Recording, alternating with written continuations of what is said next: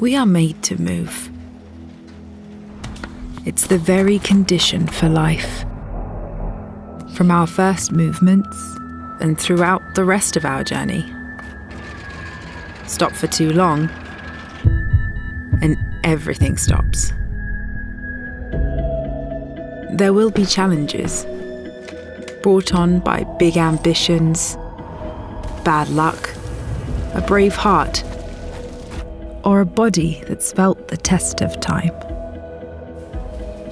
In these moments, however bleak, there's only one way forward